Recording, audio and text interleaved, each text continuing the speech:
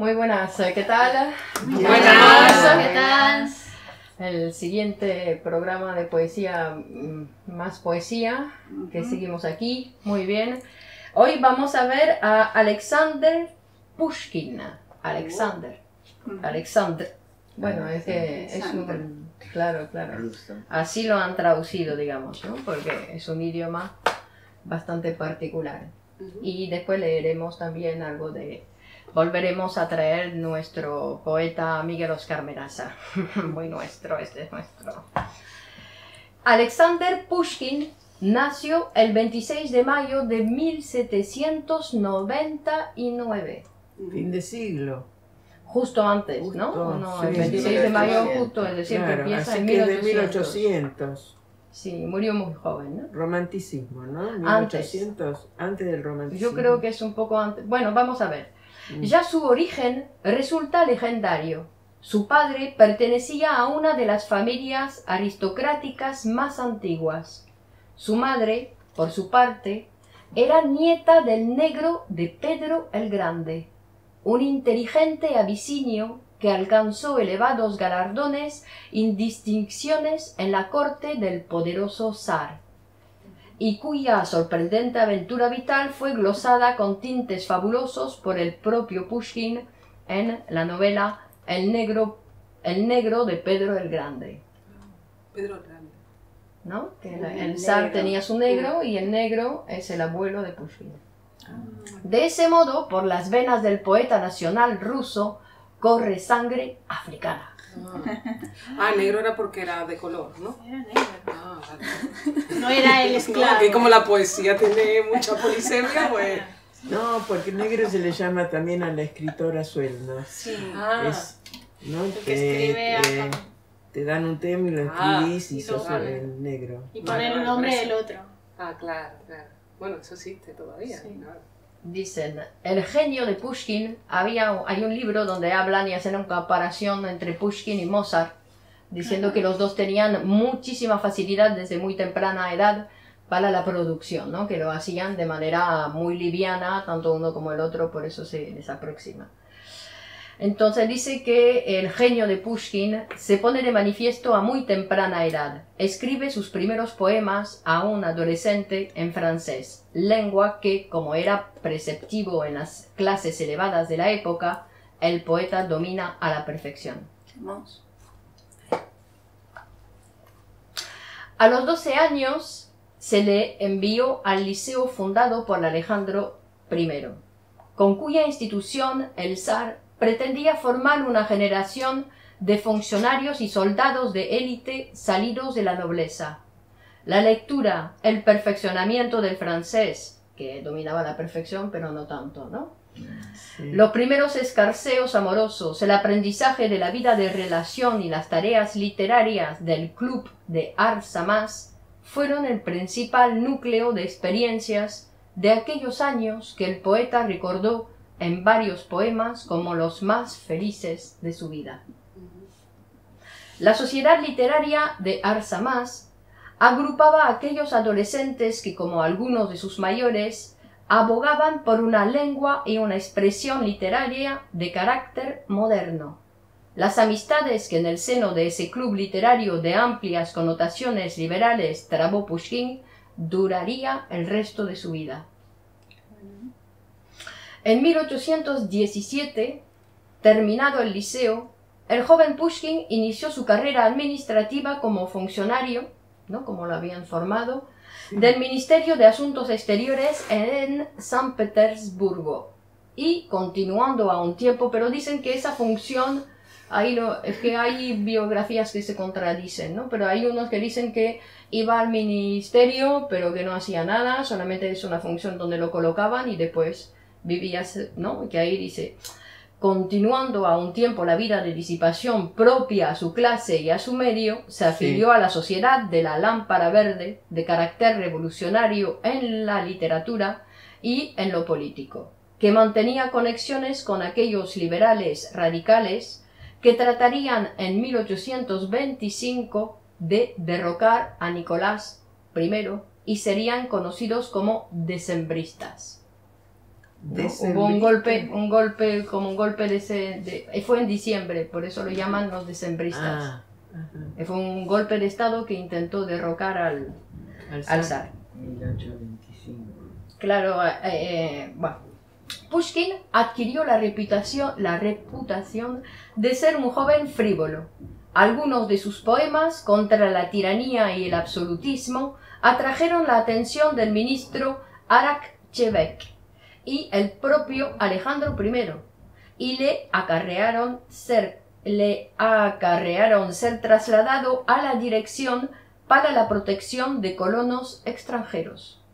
¿no? Como un departamento. Vamos a leer uno, este poema de que se llama Ah, Achadayev. Achadayev. Ah, sí, perdón, este, era un adolescente que escribía entonces, ¿no? Claro, desde muy jovencito, Por eso muy la comparación con Mozart. Claro, porque empezó muy joven, pero sobre todo con mucha facilidad. Lo compara con Mozart por la facilidad de, de, de producción que tenía. Chadayev era amigo de Pushkin. ¿Quién? Eh, Se, le de- se lo dedica a su amigo, a, a Chadayev. De esperanza, de amor, de suave gloria, nos aduló el engaño poco tiempo. Se fumaron los juegos juveniles, cual niebla matutina, como un sueño. Pero en nosotros el deseo aún arde, al yugo del poder fatal sujetos, y con el alma llena de impaciencia oímos de la patria el llamamiento. Esperamos con ansia atormentada de la sagrada libertad del momento, igual que espera el mozo enamorado aquel minuto del seguro encuentro. Hasta ahora el corazón de honor palpita, hasta ahora por la libertad ardemos, amigo mío, a la patria los hermosos impulsos de nuestra alma consagremos. Ánimo, compañero, de la dicha gloriosa la estrella está saliendo, de su letargo Rusia se despierta, y en los despojos del absolutismo inscritos quedarán los nombres nuestros. Muy bien. Muy bien.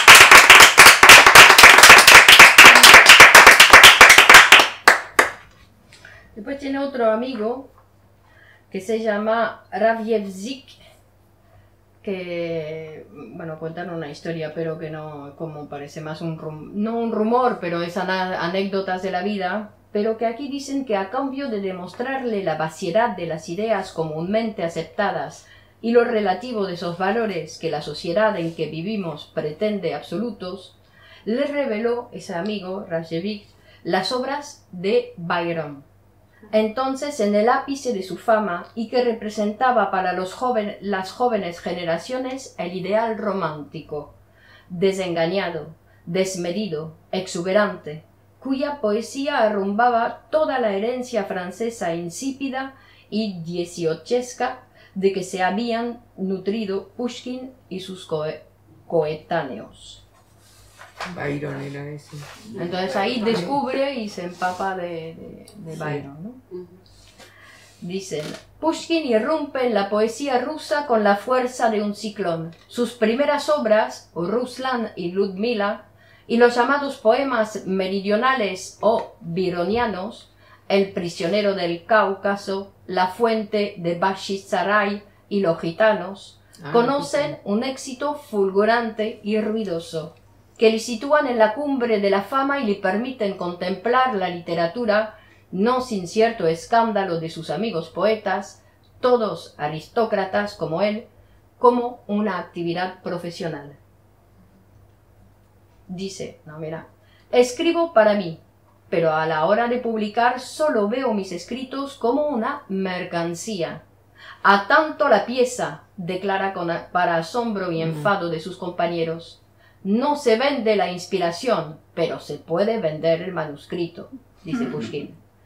Debe recordarse que en aquel entonces la literatura, y especialmente la poesía, era practicada por los representantes de la nobleza de manera desinteresada. con la simple intención de dejar constancia de un ingenio y un talento superiores. En ese ámbito la idea de escribir por dinero parecía no solo escandalosa, sino incluso repugnante, ofensiva y probablemente plebeya. Tenemos un... Sí. El prisionero. Estoy entre rejas en húmeda celda. Criada en cautiverio, un águila joven, mi triste compañía, batiendo sus alas junto a la ventana, su pitanza pica. Compañía, ¿no? Compañía. La pica, la arroja, mira la ventana como si pensara lo mismo que yo. Sus ojos me llaman y su griterío y, y proferir quiere. Hacemos el vuelo. Tú y yo somos libres como el viento, hermana. Huyamos, es hora. Do blanquea entre nubes la montaña y brilla de azul la marina, donde paseemos solo el viento y yo.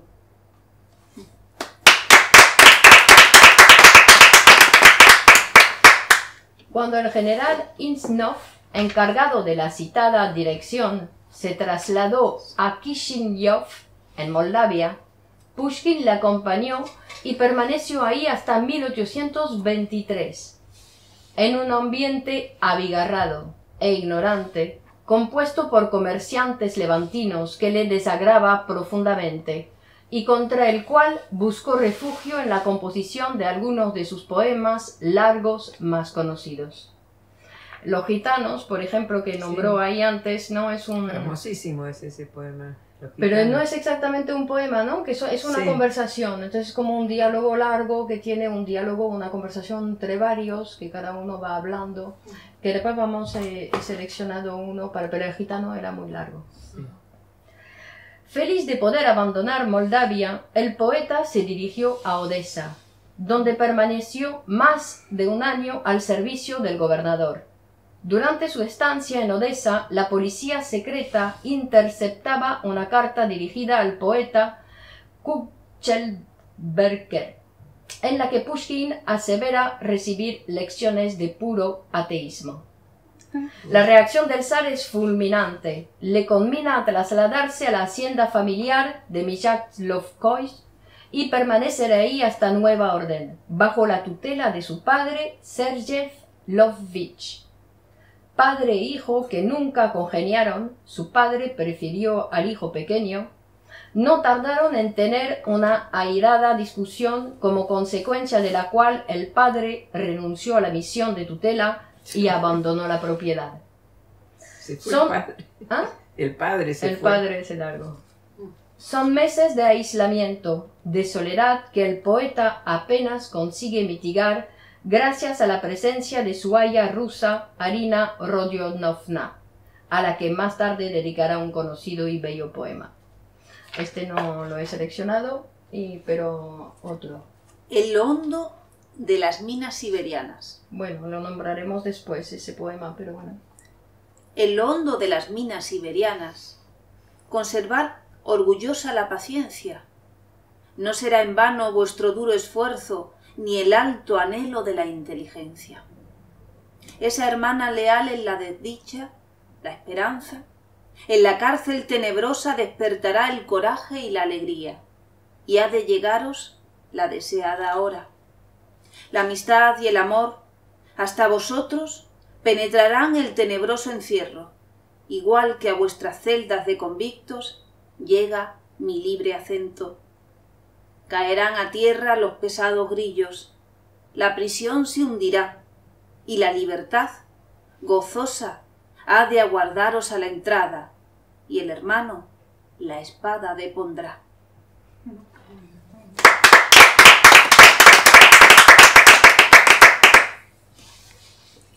Por muy duro que resultará su alejamiento de la corte, es probable que esa circunstancia le salvará la vida, pues su ausencia de la capital le impidió tomar parte activa y directa en el alzamiento de los decembristas, protagonizado por muchos de sus mejores amigos aristócratas. el fracaso de esa intentona que pretendía modificar y suavizar las estructuras del poder desde arriba, así como su feroz represión por parte de Nicolás I, muchos de los participantes fueron ejecutados, otros acabaron sus días en Siberia. Dejará una honda huella de dolor y amargura en toda la vida del poeta, que dedicará a sus amigos caídos algunas intensas y sentidas composiciones, como desde lo más profundo de las minas siberianas. Que es el poema que, Que acabamos de leer. En enero de 1826, Nicolás I llama a la corte a Pushkin, le promete su ayuda y le propone convertirse en su censor personal. ¿Quién, ¿Quién es el zar? El nuevo zar, I. después de Alejandro I, Nicolás I, ¿no? Porque. Alejandro I, ¿no? Con ese Eliseo que quería formar muy bien ahí la, Sí. la élite, que quiere distribuir, digamos, un poco de libertad, sí. pero ves, después hay la represión con los decembristas, es decir, que no, que no, ni desde arriba, es decir, que incluso la clase alta no podía, ¿no? Tener toda la formación que querían, porque enseguida querían hacer eh, algo con eso. Mira aquí, Nicolás I entonces quiere convertirse en su censor personal. Hay que recordar que en Rusia el zar ostentaba un poder realmente absoluto, como recuerda con exactitud la famosa frase del zar Pablo, que dice, Sabed que en Rusia es, solo es grande aquel a quien le hablo, y solo mientras le hablo. Era como un dios, ¿no? Absoluto. Poder absoluto. Para darnos cuenta de dónde... Bueno, leemos un poema. Sí. Anchar. Ah. En árido desierto y miserable, en un suelo abrasado de calor, anchar, como espantoso centinela, álzase, solo en toda la creación. Naturaleza en la sedienta estepa lo engendró en un momento de furor, y la muerta verdura de sus ramas y la raíz de veneno impregnó. Un veneno rezuma la corteza que se funde al calor del mediodía y se coagula cuando cae la tarde en espesa y traslúcida resina. No se aventure allí pájaro alguno, ni llega el tigre. Un negro torbellino se arremolina alrededor del árbol de la muerte y se aleja ya pestífero. Y si una nube en su peregrinaje la espesa fronda de sus hojas riega, de las ramas, repleta de ponzoña, la lluvia cae sobre la ardiente arena.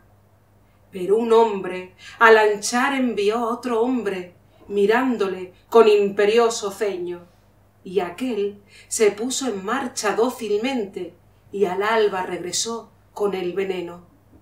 Volvió con la mortífera resina y una rama de hojas agostadas, y el sudor por aquella frente pálida en helados regueros chorreaba.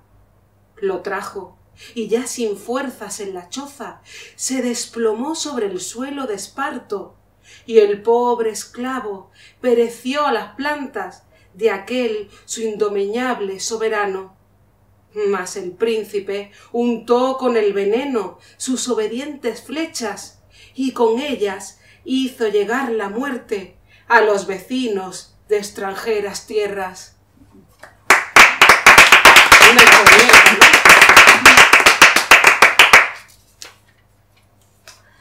Tras una entrevista con el emperador, se llegó al acuerdo de que el poeta no sería inquietado por sus opiniones, siempre que, tuviera el sentido común de no oponerse al régimen, ni se viera sometido a la censura ni se vería sometido a la censura ordinaria.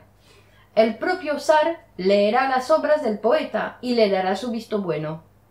Pushkin cambiaba así una censura general por otra especialísima y mucho más rigurosa que le obligaba al agradecimiento y le creaba mala conciencia cada vez que discrepaba de la opinión del soberano. Ello explica que a partir de 1825 Pushkin, sin renegar de sus principios liberales, tratará de adaptarse a lo que Nicolás I esperaba de él y de interesarse por la defensa de la institución monárquica del absolutismo. E incluso ello justifica sus ataques a los que criticaban a Rusia cuando ésta aplastó con la consabida implacabilidad la sublevación de Polonia. La relación entre el zar y su poeta no tardó en complicarse por el hecho de que quien de veras ejercía el papel de censor era el conde Benkendorf, celoso funcionario que carecía de competencia y gusto en cuestiones literarias. Y- Qué mala suerte, justo al peor le dieron. Ah, como ah, la actualidad. y que sometió al escritor a un control férreo, como lleno de nimiedades, que acabó por exasperarle, exasperarle, Sí. Y que descendiendo al terreno cremas- crematístico le impedía publicar y recibir así de los libreros el pago de sus producciones. Por ello, Pushkin se verá obligado a malgastar su hacienda y a reducir su tren de vida para no incrementar sus grandes deudas. Otro poema. Ya vagué por las calles bulliciosas. Ya vagué por las calles bulliciosas. Ya penetré en el templo populoso. Ya me rodé en alocados jóvenes. En mis sueños sigo estando absorto. Me digo, pasarán raudos los años y por muchos que aquí nos encontremos, todos iremos a la eterna fosa y para alguno ya llegó su tiempo. Cuando contemplo el roble solitario, este patriarca de los bosques, pienso, sobrevivió al cruel siglo de mis padres y sobrevivirá a este siglo nuestro. Cuando acaricio a una tierna criatura, pienso que es hora ya de despedirme. Te cedo el puesto, florecer te toca, y para mí ya es hora de pudrirme. Cada día que pasa, cada hora, me he acostumbrado a ejercitar la mente e intento adivinar cuál de entre ellos será el aniversario de mi muerte. 27 años tiene. ¿Y dónde me enviará la muerte helado? ¿En la guerra? ¿En el mar? ¿Como viajero? ¿O si acaso será el valle vecino el que reciba mis helados restos? Y aunque, mi, y aunque para mi cuerpo inanimado donde se descomponga igual le sea, yo, más cercano a mi solar querido, de ser posible, reposar quisiera. Ya que a la entrada misma de mi tumba una juvenil vida jugar pueda, y que naturaleza indiferente con su eterna hermosura resplandezca.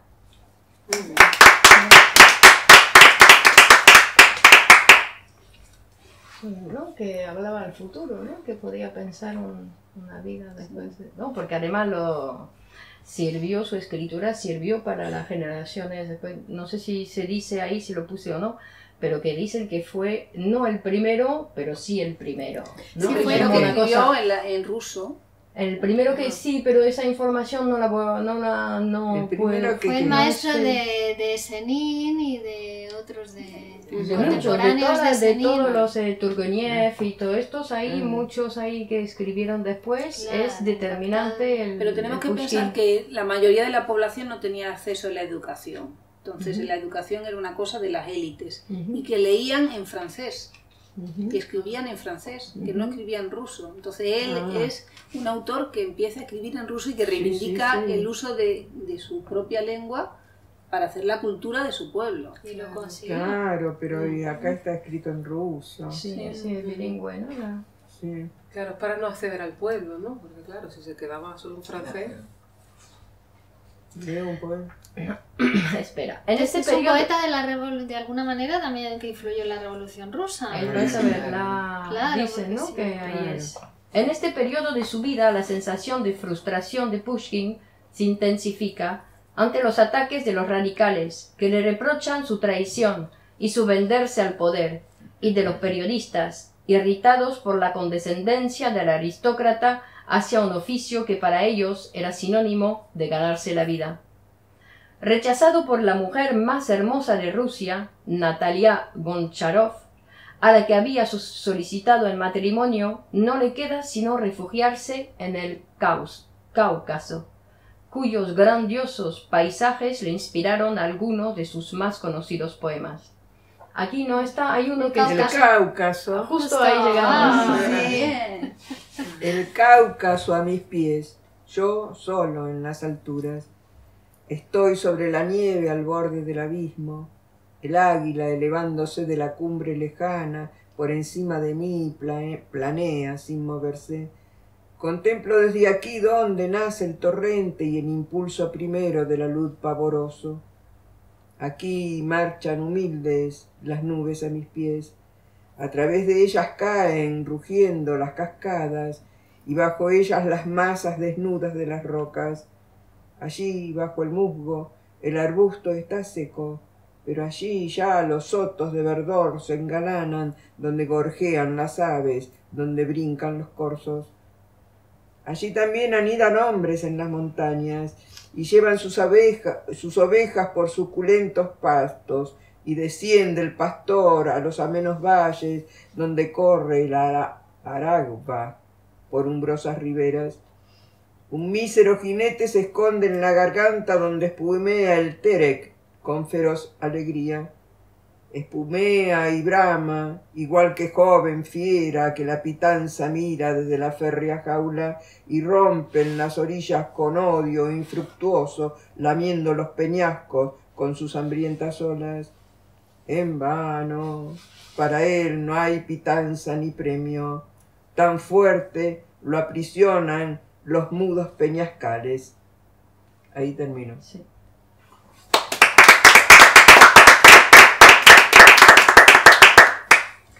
Poco después de su regreso a la corte, el poeta contrae matrimonio con, una, con la belleza Natalia Goncharov. Ah, sí, no lo había rechazado. Sí, pero después vuelve y lo consigue. Una muchacha de 16 años, Ah. admirada incluso por el zar, que por mantenerla cerca nombra a su marido gentilhombre de cámara, cargo que humilla profundamente al poeta, pues no estaba en consonancia ni con su posición ni con su edad. Y dice Pushkin, el emperador está descontento de que no me haya mostrado conmovido y agradecido por mi nombramiento de gentilhombre de cámara. Puedo ser un súbdito, incluso un esclavo, pero nunca seré el lacayo ni el bufón de nadie.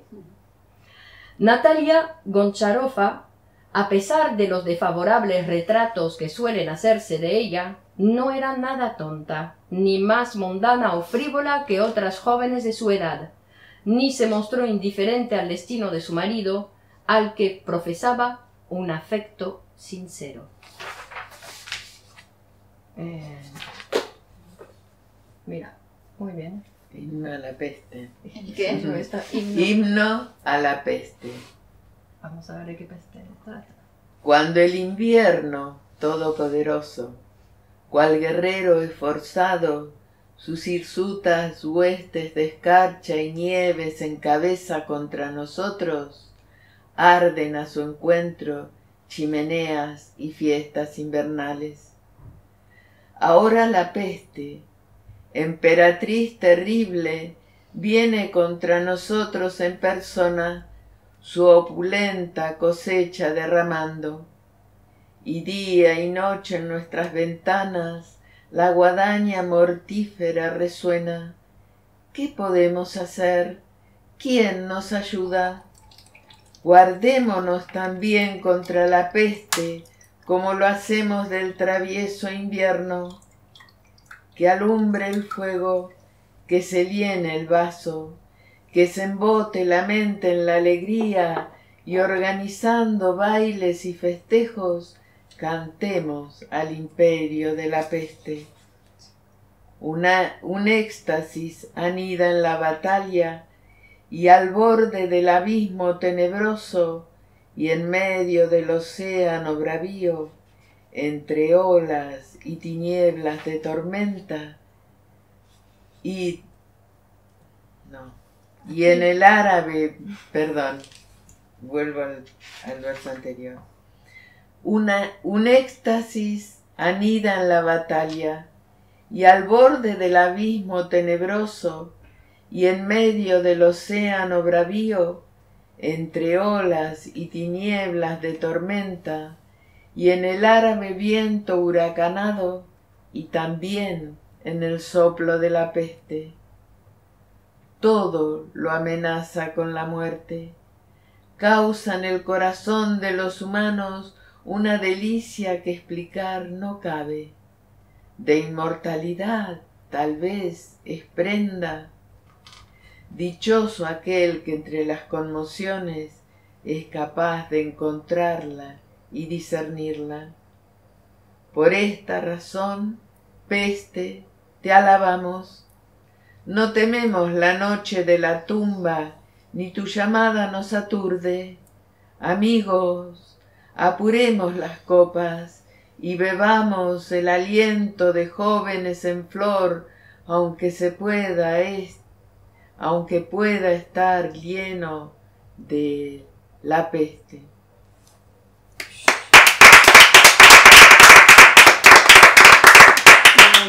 con ella, ¿no?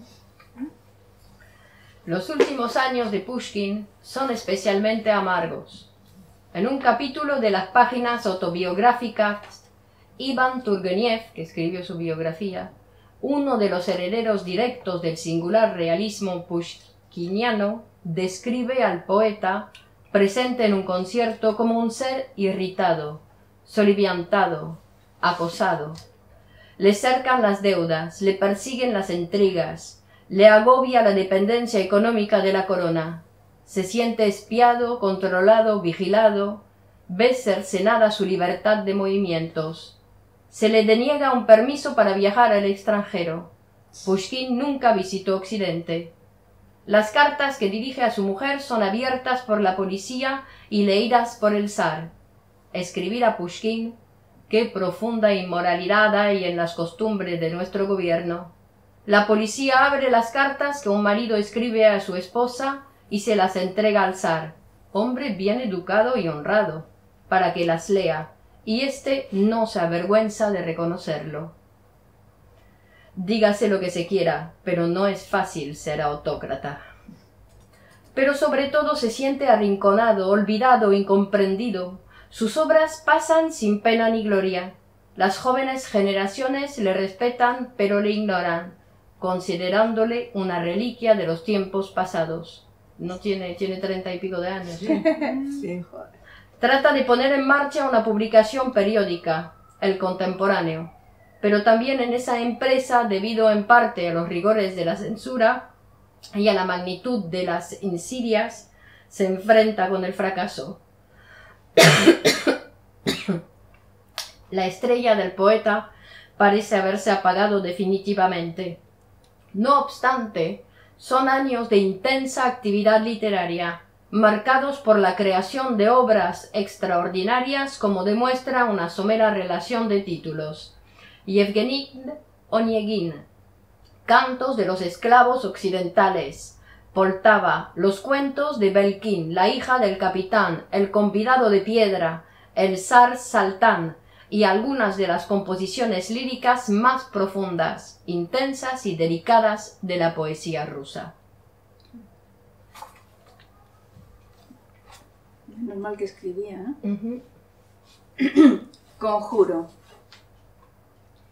Si es verdad que por la noche, cuando el hombre se sosiega y los rayos de la luna resbalan sobre la piedra de las tumbas, si es verdad que entonces vacías quedan las fosas, llamo a una sombra.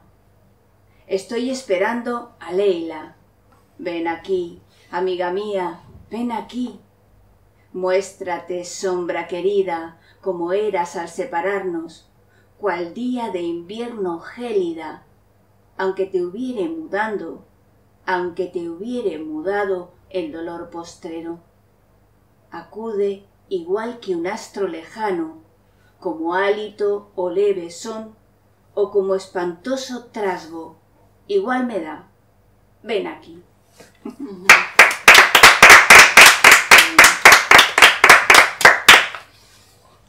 Otro. Por las costas lejanas de tu patria. Por las costas lejanas de tu patria dejaste un país extraño. En aquella hora triste, inolvidable, he sollozado tanto. Con las manos heladas, retenerte quería entre gemidos y que el dolor de la partida nunca se hubiera interrumpido. Pero tú, de aquel beso y su amargura, los labios arrancaste. Desde un país de exilio tenebroso a otro me llamaste.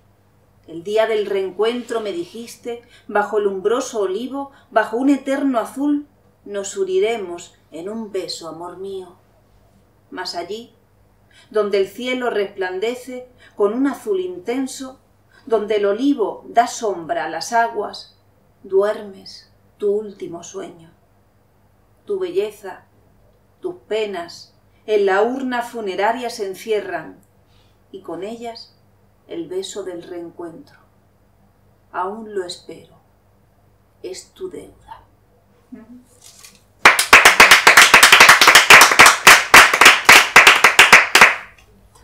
Que la mujer se la dejaban salir, ¿no? Era a él al que le tenían.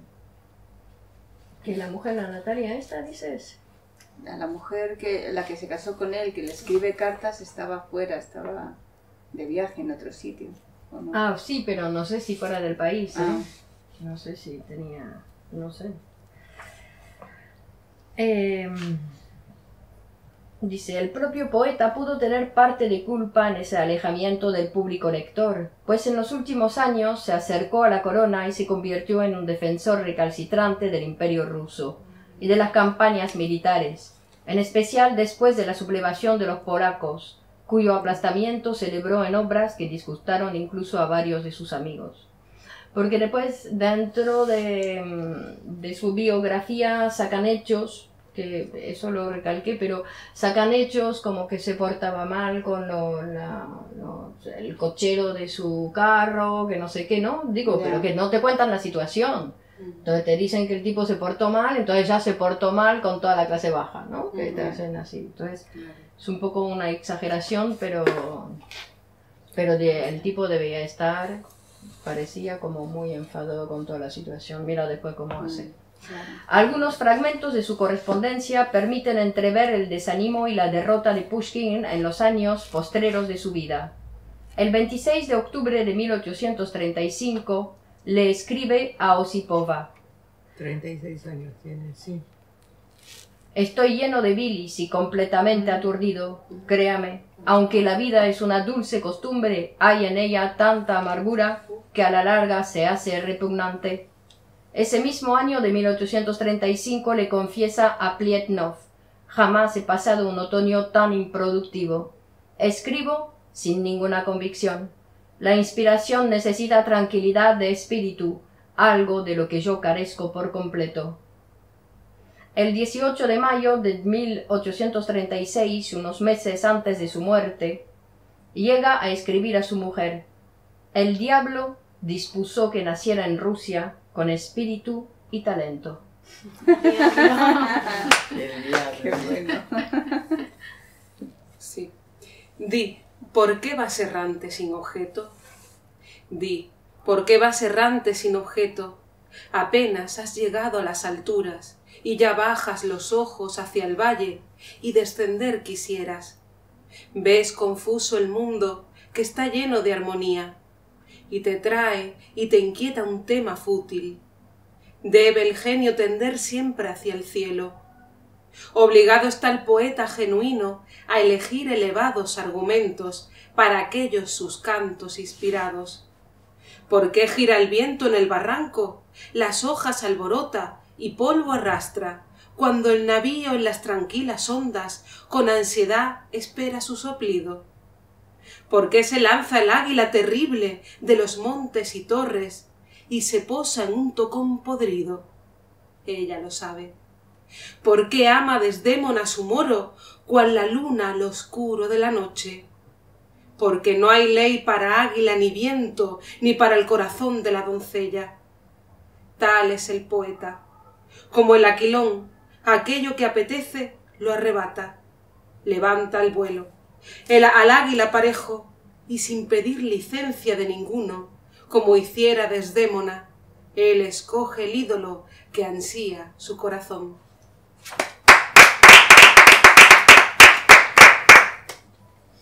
Las circunstancias que condujeron a la muerte del poeta se sucedieron con rapidez.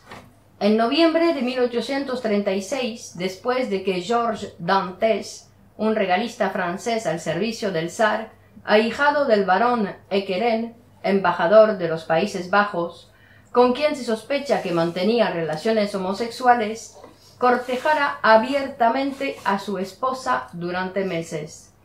Pushkin recibió una carta anónima en la que se le tildaba de cornudo.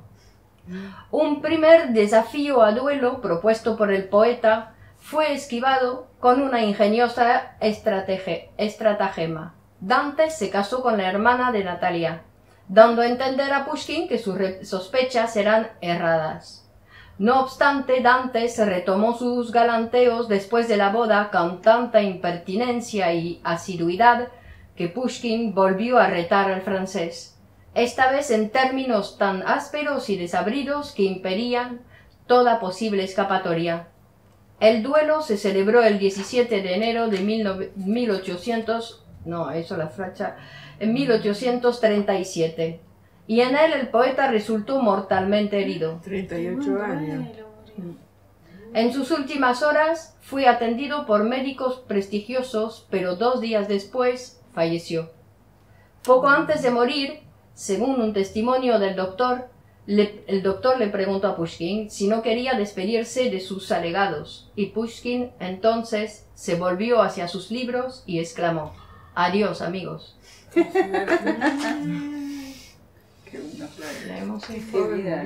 Exegi monumentum.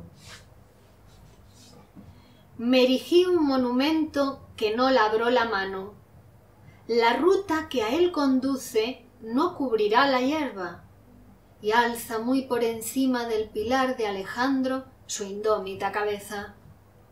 No moriré del todo, mi alma en la sacra lira sobrevivirá al polvo y no se pudrirá, y célebre he de ser mientras aliente un bate en este mundo sublunar.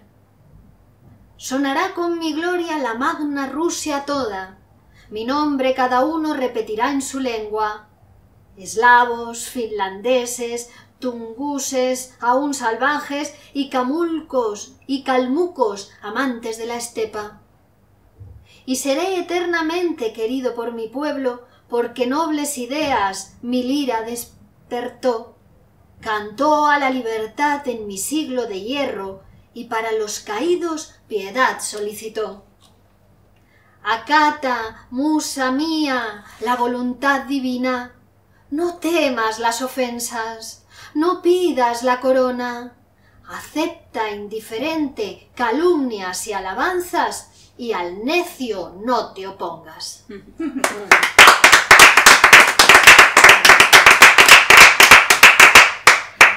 ¿Cómo sabía? Pushkin no es, como se piensa y se dice a menudo, el creador de la literatura rusa. Esta existía antes de él y contaba con siglos de historia. Lo que hace Pushkin no es crear, sino imprimir un giro decisivo a la literatura posterior, señalar un nuevo camino para los escritores futuros. Esa idea está ya en la mente de Belinsky cuando define a Pushkin como el primer poeta artista de Rusia. Probablemente el ilustre crítico se refería a la inmediatez, a la frescura, a la presencia desbordante y sincera de la vida en la obra de Pushkin. Además de mostrar una dirección a los escritores futuros, Pushkin define con claridad la postura que el poeta debe adoptar en la sociedad. Debe el poeta participar en la vida social, tratar de mejorar la suerte de sus semejantes.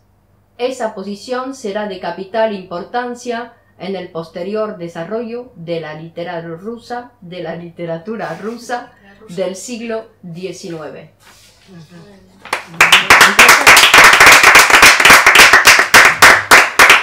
Y traído un, no un extracto directamente toda todo el texto porque me parece lindísimo para que lo leamos. Es un diálogo.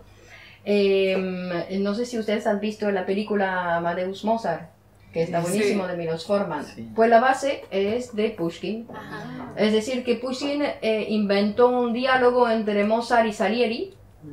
¿no? Y a partir de ahí hay un inglés que recuperó sobre esa base, porque eso es una pequeña ópera, que, pero son unas cuantas páginas, es lindísimo. Y mm, el, un inglés que, que retomó esa base y hizo toda una obra de teatro, que es lo que Milos Forman utilizó para hacer su película. Entonces, si queréis ahí leer entre vosotras, hay una conversación entre Salieri y Mozart. O una sola, no sé, pero pasamos ahí para... Músico italiano Salieri. ¿No? Sí, era músico de la misma, pero ahí se ve, se ve, se ve bien quién es quién. Mozart y Salieri, escena primera, una sala. Salieri. Todos dicen que no hay justicia en el mundo, pero tampoco en los cielos la hay. Para mí está tan claro como una escala. Amo el arte desde que nací. Siendo niño, cuando alto resonaba el órgano de nuestra vieja iglesia, no me cansaba de escucharlo, y lágrimas involuntarias y dulces vertía. Pronto abandoné las ociosas diversiones y las ciencias ajenas a la música, odiosas me resultaban. Obstinado y altivo, renegaba de ellas y me entregaba solo a la música. Es duro el primer paso y enojoso el comienzo del camino. Vencí las primeras adversidades. El oficio consideré el fundamento del arte y por tanto me convertí en artesano. A mis dedos doté de dócil y seca agilidad y a mi, oído de medida matando los sonidos, diseccioné la música como un cadáver. Verifiqué la armonía con el álgebra. Entonces, en ciencia experto, me atreví a entregarme a la dulce fantasía creadora. Empecé a componer, pero en silencio, en secreto, sin osar soñar con gloria alguna a veces, tras pasar en mi callada celda dos o tres días, olvidado del sueño y la comida, paladeando los éxtasis y las lágrimas de la inspiración, quemaba mi trabajo y miraba con frialdad cómo los pensamientos y sonidos alumbrados por mí ardían con leve humo y desaparecían. Pero, ¿qué digo? Cuando el gran Gluck apareció y nos reveló nuestros secretos, profundos, maravillosos secretos. ¿Acaso no abandoné todo lo que había conocido, lo que tanto amaba, en lo que tanto creía, para seguir animoso sus pasos, dócil como quien, extraviado por un caminante, es guiado en otra dirección? Con obstinada y asidua perseverancia por fin en el arte ilimitado alcancé la excelencia. La gloria me sonreía. En el corazón de las gentes mis creaciones encontraban comprensión. Era feliz. Disfrutaba plácidamente de mi trabajo, de mi éxito, de mi gloria, como también de las creaciones y logros de mis amigos, de mis compañeros en el arte divino. No, Nunca conocí la envidia, nunca, ni cuando Pitimí supo seducir los oídos de los salvajes parisinos, ni cuando oí por primera vez los acordes iniciales de Ifigenia. ¿Quién dirá que el orgulloso Salieri fue alguna vez un despreciable envidioso, una serpiente pisoteada por los hombres que impotente mordió la arena y el polvo? Nadie. Y ahora, yo mismo lo digo, ahora soy envidioso. Una profunda envidia me atormenta. Oh cielos, ¿dónde está la justicia cuando el sagrado don, cuando el genio inmortal no es recompensa del amor ardiente, de la abnegación, del esfuerzo, de la dedicación, de la dedicación y de los rezos, sino que ilumina la cabeza de un demente, de un ocioso calavera? Ah, Mozart, Mozart, entra Mozart. Mozart. Ah, me has visto. Y yo que quería gastarte una broma improvisada. Salieri, estás aquí. ¿Hace mucho que has entrado? Mozart. Ahora mismo. Venía a verte para enseñarte una cosa, pero al pasar frente a la taberna escuché de pronto un violín. No, amigo Salieri, nunca has oído nada más divertido. Un violinista ciego tocaba en la taberna Voi sapere, una maravilla. No pude contenerme y he traído al violinista para que te deleite con su arte. Entra un ciego con un violín. Toca algo de Mozart. El viejo toca un aria de Don Juan. Mozart se ríe a carcajadas. Salieri. ¿Cómo puedes reírte? Mozart. Ah, Salieri. Es posible que no te rías también tú. Salieri. No. No me hace gracia que un vil pintor de brocha gorda embadurne una Madonna de Rafael. O que un indigno juglar haga una parodia de Alighieri. Vete, viejo. Mozart. Espera. Toma, para que bebas algo a mi salud. El viejo sale. Ya veo, Salieri, que hoy no estás de buen humor. Vendré a verte en otro momento. Salieri. ¿Qué me has traído? Mozart. Nada, una bagatela. La otra noche me atormentaba el insomnio y me vinieron a la cabeza dos o tres ideas. Y hoy las he anotado. Quería conocer tu parecer, pero por lo visto ahora no tienes tiempo para mí. Salieri. Ah, Mozart, Mozart. Alguna vez te he negado mi atención. Siéntate, te escucho. Mozart. Se sienta ante el piano. Imagínate. A quien... Bueno, a mí mismo, algo más joven y enamorado, aunque no mucho, solo un poco, en compañía de una mujer hermosa, o mejor, de un amigo como tú. Estoy alegre. De pronto aparece una visión de ultratumba, una sombra imprevista o algo semejante. Bueno, escucha. Toca. Salieri. Venías con esto y has podido detenerte en una taberna y escuchar a un viejo ciego. Dios mío. Mozart, eres indigno de ti mismo. Mozart, ¿qué? ¿Te gusta? Salieri, qué profundidad. Qué intrepidez, qué armonía. Mozart, eres un dios y ni siquiera lo sabes. Pero yo sí lo sé. Mozart. Va, ¿tú crees? Tal vez. Pero a esta divinidad le ha entrado hambre. Salieri. Escucha, vamos a comer juntos a la taberna del León de Oro. Mozart. De acuerdo, muy bien. Pero debo pasar por casa a avisar a mi mujer de que no me espere. Salieri. Te aguardo entonces. No, no puedo ponerme a mi destino. He sido elegido para acabar con él. De otro modo, todos nosotros estaríamos perdidos, sacerdotes y servidores de la música, no solo yo con mi precaria fama.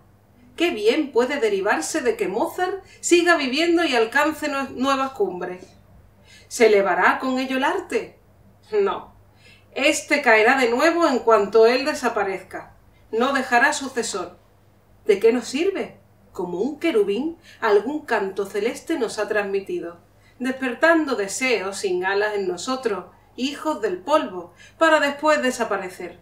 Que desaparezca, pues, y cuanto antes mejor, Aquí está el veneno, el último don de mi Isora. Hace dieciocho años que lo llevo conmigo.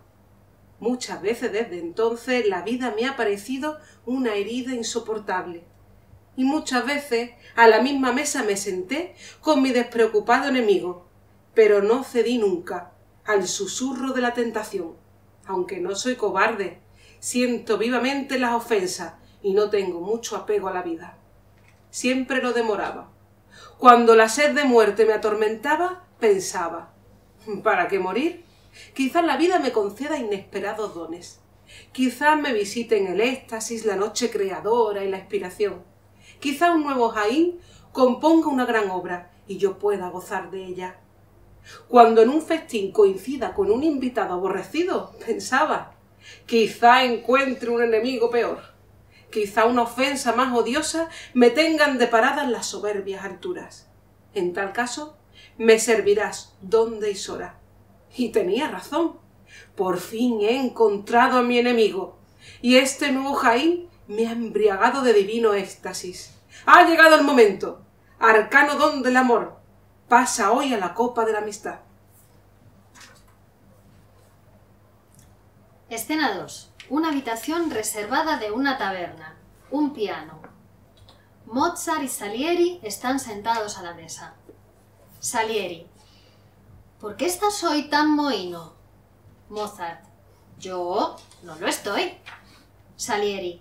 Seguramente algo te preocupa, Mozart. La comida es buena, el vino excelente, pero sigues callado con el ceño fruncido. Mozart. Reconozco que mi requiem me preocupa. Salieri. Ah, ¿estás componiendo un requiem? ¿Desde cuándo? Mozart. Desde hace tres semanas. Pero sucede algo muy extraño. ¿No te lo he contado? Salieri. No. Mozart. Pues escucha. Hace tres semanas llegué tarde a casa. Me dijeron que alguien había venido a verme. No sé por qué, pero me pasé toda la noche pensando ¿quién sería? ¿Y qué querría de mí? Al día siguiente se presentó de nuevo, pero tampoco me encontró en casa. Al tercer día estaba jugando en el suelo con mi hijo cuando oí que me llamaban. Salí. Un hombre vestido de negro me saludó cortésmente, me encargó un requiem y desapareció. Me senté al punto y empecé a componer. Desde entonces no ha vuelto el hombre de negro, y me alegro. Me dolería separarme de mi obra, aunque ya está acabada. Pero entre tanto yo. Salieri. ¿Qué? Mozart. Me da vergüenza confesarlo. Salieri. ¿De qué se trata? Mozart. La visión del hombre de negro no me abandona ni de día ni de noche. Me sigue a todas partes como una sombra. Incluso ahora me parece sentado entre nosotros. Salieri. ¡Basta! ¿Qué temores pueriles son esos? Desecha esa vana idea. Beaumurchais solía decir Escucha, amigo Salieri, cuando te visiten negros pensamientos, descorcha una botella de champán o reolee las bodas de Fígaro. Mozart. Sí. Beaumurchais era amigo tuyo, pero él para él compusiste tu tarara, una obra soberbia. Hay en ella un motivo. Siempre lo repito cuando estoy alegre. La la la la. Ah. ¿No es cierto, Salieri, que Beaumarchais envenenó a alguien? Salieri. No lo creo. Era demasiado frívolo para semejante empresa. Mozart. Era un genio, como nosotros. Y el genio y el crimen son incompatibles. ¿No es cierto? Salieri. ¿Tú crees? Echa el veneno en la copa de Mozart. Pero, ¿por qué no bebes? Mozart. A tu salud, amigo, por el sincero vínculo que une a Mozart y a Salieri, dos hijos de la armonía. Bebe. Salieri. Espera, espera, espera. ¿Has bebido sin mí? Mozart.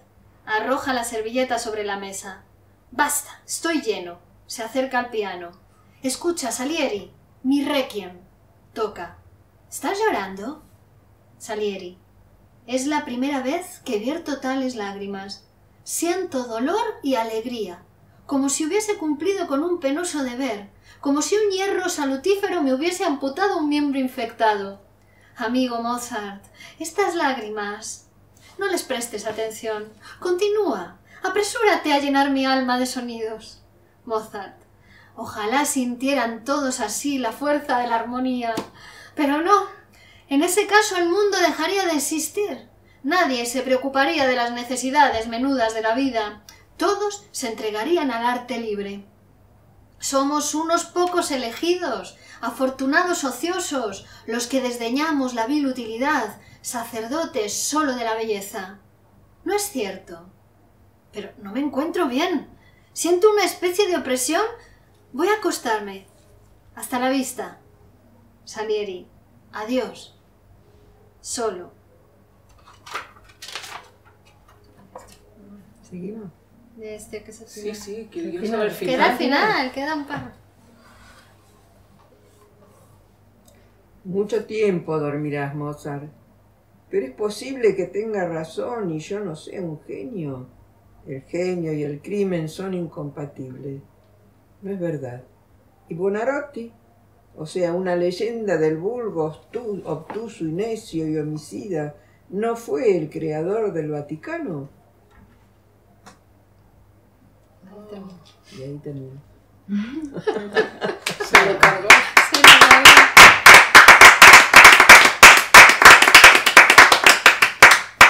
Y escribió, ¿no? Varias de esas, eh, de estos diálogos, de cuentitos ahí, con, pero con gente que conversaban, Sí, sí, muy bien. ¿no? Los gitanos y todo eso. Sí.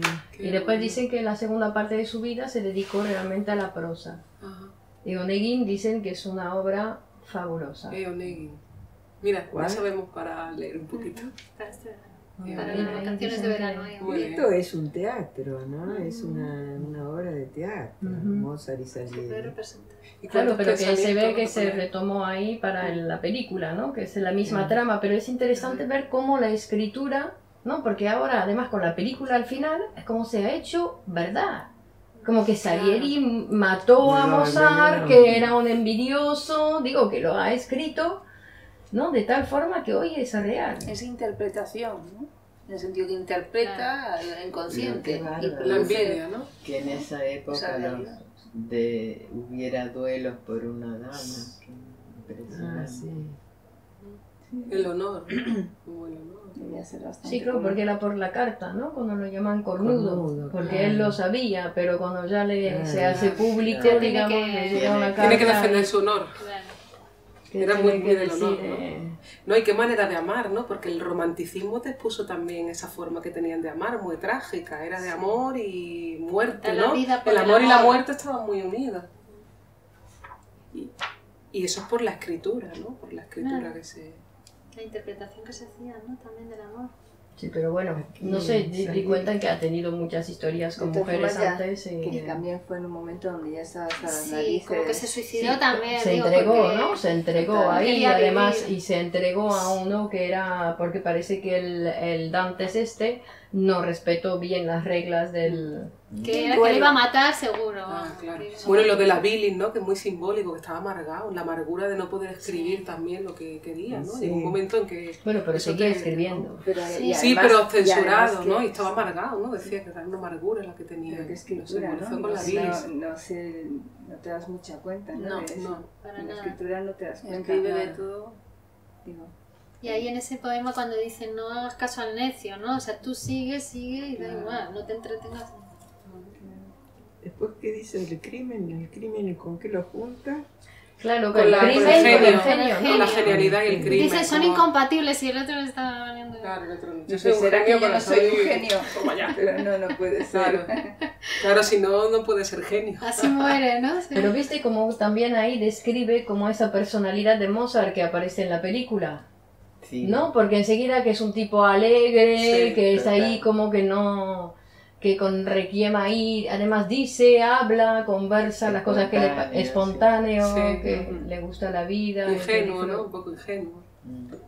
Sí, en Estamos la compa- película lo ponen así. Sí. Estamos como comparando la vida, risa muy particular. la Sí, muerte de. Mozart y la de Pushkin, ¿no? Sí, Estamos- es ¿no? Porque verdad, estamos sí. hablando del duelo y de la... Bueno, ahí no sé cómo murió en la pobreza Mozart, ¿no? Pero no sé si fue asesinado de verdad o no. Porque creo que en la película No sé, no, no lo, sé. asas- no lo asesina directamente, lo persigue, lo hace perseguir con esa imagen, ¿no? Del tipo, como lo cuenta ahí, del tipo que le va a entregar el requiem y que le paga. Entonces el Sí. tipo se pone a escribir porque necesita el dinero, entonces escribe lo que el tipo dice Y él en ese personaje de negro que viene, que es Salieri, en la película también, que es Salieri, pues ahí ve, el tipo ve el, el- su padre, ¿no? Ve su padre, entonces el fantasma de su padre, entonces está muy Ah, sí. atormentado y al final de su vida muere, digamos, más bien termina el requiem y muere atormentado por ese fantasma y con el padre que no le dio el gusto al padre y que, ¿no? que vivió su vida, digo, que le dio el gusto eso a una cierta edad, parece ser, ¿no? Que es el padre que le decía, toca, toca, que... Bueno, pasamos al Muy nuestro. bien.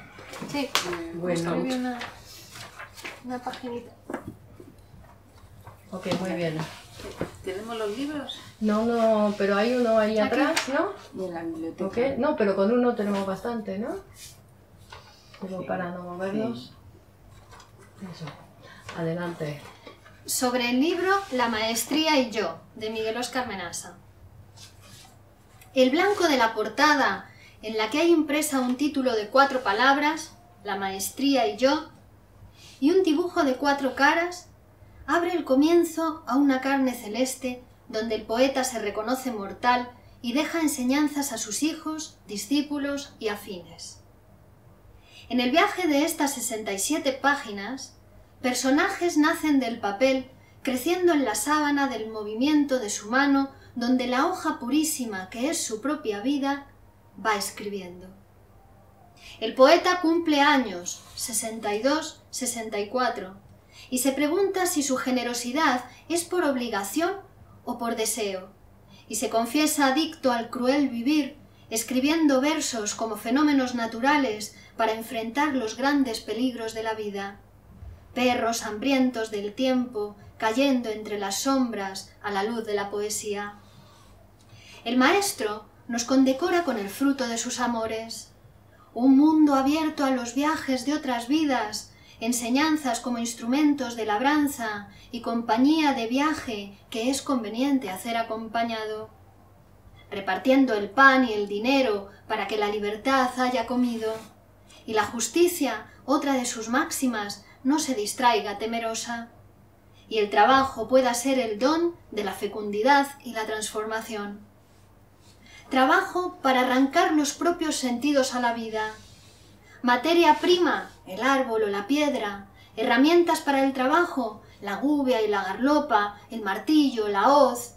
Y productos, frases que servirán hasta el final para limar las asperezas de la muerte. Nos ayudarán a viajar por los caminos intransitables, viviendo la vida y dejando señas de haber estado creando y trabajando para congelar la mirada de la muerte.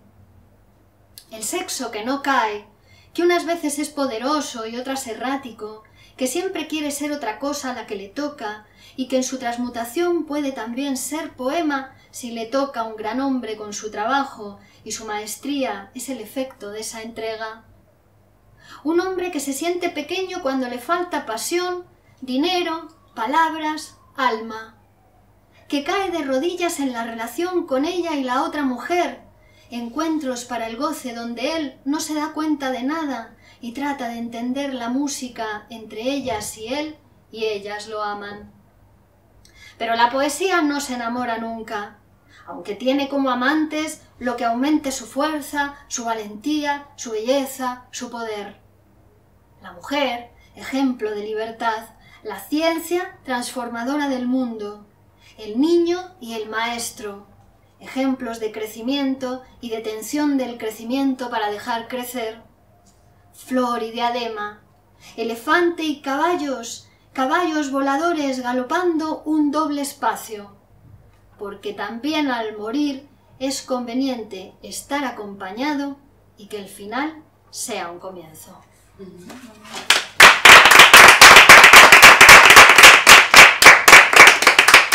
un poco de agua, Cruz, por ahí? ¿Eh? ¿Hay un poco de agua? ¿No hay un vasito? No, pero no hay un vasito, eso, Cumplir 62 años. que está en este libro. Ah, es el... Y es a los 62 años que me dispongo, con un talante generoso, a festejar vivir en un mundo donde nadie sabe si debe o si regala, si ama o si desea, si obligado a vivir o interesado, si valiente o inquieto o cobarde sin fe. Al cumplir los sesenta y dos años, quiero confesarme adicto al cruel vivir. Y vendrán cataclismos y ciclones, inundaciones y guerras por doquier, y yo sentado, escribiendo mis versos, haciendo del cataclismo mi guarida, del ciclón mi aliento, y de la pólvora, mi inseparable compañera, las alas del adiós. Cumplir 64 años. Ah, más rápido. En un plis. Hoy, a la mañana en el desayuno, he visto pasar muy cerca de aquí 64 perros, como hambrientos, tal vez abandonados, cayendo en un abismo.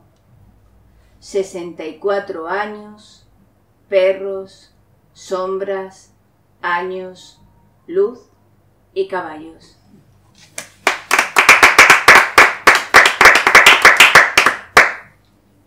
La poesía no se enamora nunca. A mis hijos, discípulos y afines.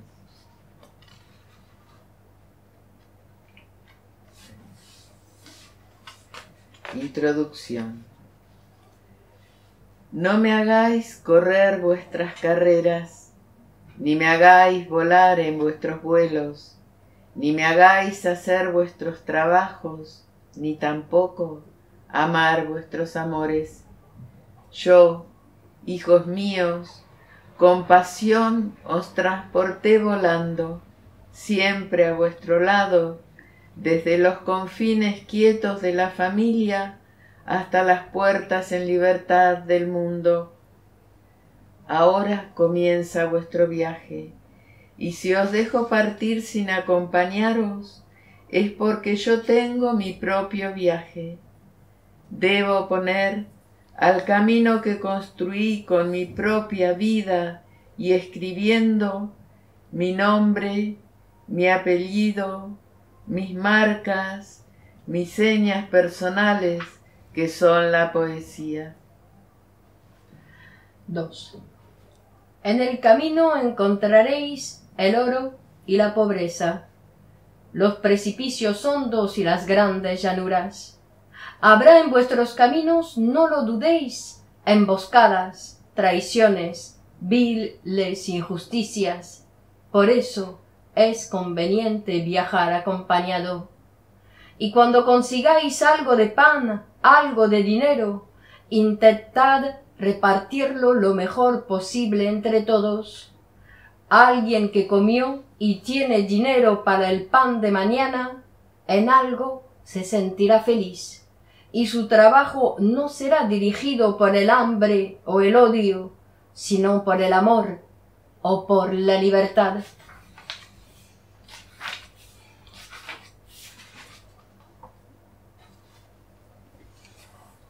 En una sociedad justa el trabajo es un don.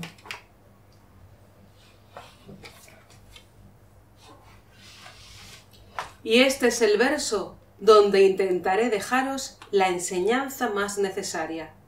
En una sociedad justa, el trabajo es un don, una alegría, un bien humano propiamente, con el cual se puede modificar lo natural, la vida, los enjambres de sueños, el sol, con el trabajo, el hombre pudo volar sin alas, navegar por los mares sin conocer el mar.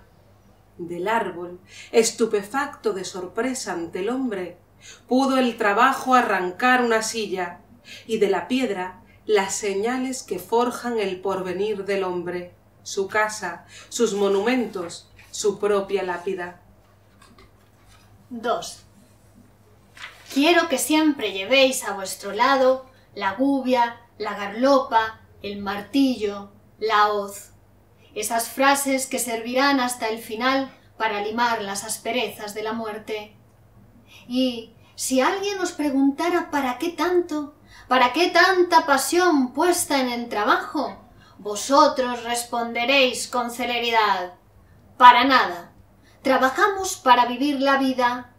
Trabajamos para que en el humano mundo haya señas de que nosotros estuvimos creando y trabajando, tal vez en este mundo, que hicimos un trabajo para vivir, para amar, para congelar la propia mirada de la muerte, hicimos un trabajo y escribimos un verso.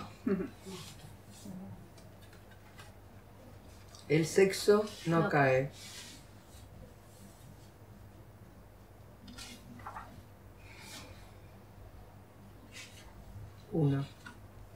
La enseñanza más grande que tengo para daros es que el sexo no cae. Se desarrolla, se transmuta, se hace insensible, llora, bosteza de aburrido, se libera de más. Contrae enfermedades, se cura, se arrepiente. Es hombre y es mujer y nada sabe del amor. Y quiere ser mujer cuando le toca hombre, y quiere ser un hombre cuando le toca niño, y madre quiere ser cuando es mujer, y si mujer le toca quiere ser niño, serpiente o bruja quiere ser, y puta, y cualquier cosa quiere ser con tal de no saber nada de eso. Pero el sexo. Pero el sexo no cae, se entrega, se somete, esclaviza todos sus sentidos para permanecer ahí, oculto o estallando en pedazos, descuartizado y solo, erecto y firme, siempre impune, totalmente abierto a las caricias, al beso, a la ternura, o bien casi cerrado, oscuro, blando, débil, a punto de fracasar en todo, y se encierra en sí mismo, y con una mano se masturba, y con la otra mano espera, y se masturba, y llega a parecer que el hombre muere así, chiquito, empobrecido, sin nada que decir, sin alma. 3. Y sin embargo os digo, el sexo no cae, y si sirve de algo, yo mismo haré de ejemplo. A veces también me lo creo. Soy un gran hombre, me digo. Soy un gran- hombre. Y al otro día me levanto todo tullido y dolorido, como si un tren cargado con mercancías peligrosas me hubiera pasado por encima. Muy pocas cosas hablan de mí con cierta claridad. Mis amores son muy apasionados. No puedo encontrar en ellos, aunque la hubiera, ninguna inteligencia, y mi propia inteligencia está trabada por falta de pasión. 5. Con el dinero me pasa que nunca sé quién es, si yo porque lo gano o ella porque lo gasta. 6. Y después están esas largas y después están esas tardes gloriosas donde no puedo reconocer como propia mi propia piel. Ella se mete en mí, pero solo para que otra mujer la acaricie. Y la otra mujer me acaricia después de darse cuenta que en mí todo lo que me dan lo recibe ella. Después de estos encuentros, donde todo el mundo goza y yo no me doy cuenta de nada, atravesamos por instantes de paz, donde la música llega hasta nosotros y quedamos suspendidos en un relato dramático. 7. Ellas ensayan sobre ellas mismas maniobras de violencia sin mirarse a los ojos, sin darse cuenta que las estoy mirando, y yo, pobre hombre, amante de la soledad, no entiendo por qué me pasan estas cosas. Y ella y la otra sonríen con alevosía y se dicen una a la otra que me aman. 8. En el momento de desnudarnos somos libres. Ellas se quedan mirándose de perfil en el espejo y yo, extasiado, caigo de rodillas y me adoro, pero el sexo no cae. La poesía no se enamora nunca. Tiene un montón de dibujos el libro. Uno. Vivir acompañado no es un consejo, es la única manera de vivir. Y aprovecho el decir para dejar en vuestra inteligencia la enseñanza más bella. La poesía no se enamora nunca. 2. La poesía no se enamora nunca, mas sin embargo tiene como amantes a todo aquello que aumente su belleza, su valentía, su fuerza, su poder. Hombre o madera no le importa. El hombre debe ser ejemplo o novedad, y la madera, además de ser bella y delicada, debe servir para la cuna o bien el ataúd.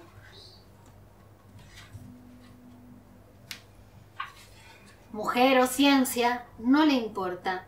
La mujer debe ser ejemplo de libertad y la ciencia, además de compleja y exacta, debe poder amar el mundo, transformarlo.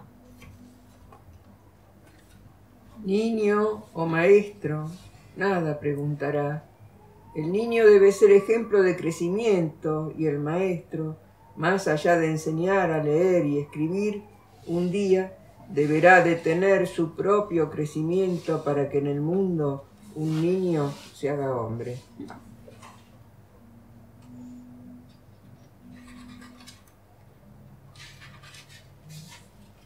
Flor o diadema, todo lo sabrá. La flor ha de ser bella y siempre morirá, y la diadema, además de brillar siempre, aprenderá a apagarse cuando muera la flor. Elefante taciturno o caballos desesperados. La poesía tiene sus cementerios y también sus praderas infinitas, pero el elefante tendrá que aprender a no dejarse doblegar por la muerte, y al morir tendrá que estar acompañado. Y los caballos podrán volar y amar si quieren, pero han de ser siempre caballos, que saben apreciar las diferencias entre galope y desenfreno, trote y sometimiento. Y al detenerse el caballo en un poema, todo el mundo querrá verlo volar. Y si el poema fue escrito por un hombre, caballo volará, y al detenerse, algo en el mundo se detendrá, y habrá un verso que nadie escribirá un doble espacio lleno de caballos al trote, galopando, detenidos, volando arrebatados. Muy bien. Muy bien. 8. Y para que las enseñanzas no queden en el aire, nuevas reencarnaciones furiosas de la lengua, os digo, como final, que es un comienzo. Alcanzar mis versos es tarea posible para ustedes, pero alcanzar vuestros versos será imposible para mí. Hay un verso de alguno de vosotros que será mi epitafio, y ese verso, quiero hacerles saber, es para mí insuperable.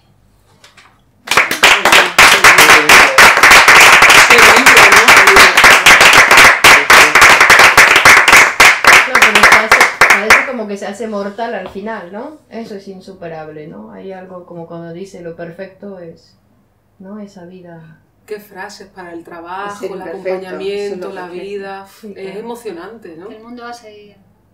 Qué fuerte. Qué fuerte la No, porque poesía. además lo deja ahí Sí, todo, que- que el mundo va a seguir, que lo deja ahí plasmado. Él no es un poema, es todo un libro que escribe para... Aquí la- en la contraportada dice Miguel Oscar Menasa Nació y nació escribió. y escribió. Y como ustedes saben, si es posible el poema, es posible la vida. Muy bien. Muy bien. Muy bien. Muy bien. Esta para terminar la temporada, ¿no? es un buen cierre. Terminamos que- la temporada y que ustedes sepan que empezamos la temporada con el número erótico. ¿Ah, sí? Este es el 68 Ah. y empezamos Ah, estaba yo pensando en otra cosa. con el número 69. ¿no? Programa. Así que nos vemos en el la próxima 69. temporada, en el 69. Y así, así nos vamos de... Y nos vamos así. Aquí no cantamos el sexo divina porquería, pero casi. Bueno, genial. Felices gracias. vacaciones. Hasta luego. Chao. Hasta septiembre. Chao, chao.